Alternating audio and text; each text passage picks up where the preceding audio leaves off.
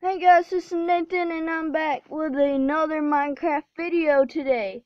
And um today we are going to be looking or want to create a new world. Generate random.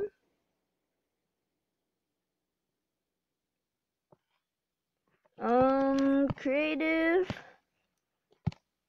easy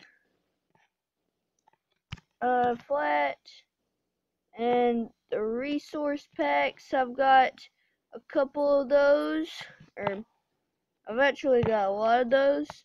But today we are doing the Ferrari.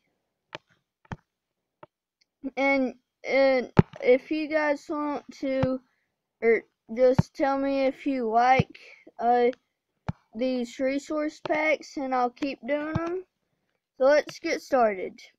They're just a little glitched, but I'll show you um just like what they have. There's only two things that uh, they give you is just a spawner for a Ferrari and a key. Go in here and you see there's this little thing that's the Ferrari uh, people and then you get a key right here. And I'll show you what the Ferrari looks like and see it's a little glitch but anyway that's what it looks like and here's the key um, I don't think you can drive it. You might can't. No, I don't think so. Come here. No, it doesn't have an option to.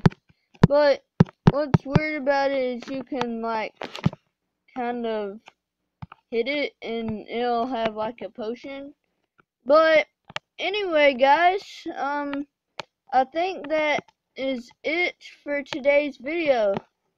This video went by quick, but um, remember to like and subscribe, and uh, just remind me and tell me if you like these um resource packs, and I'll keep doing them. And thanks for all the support. Peace out.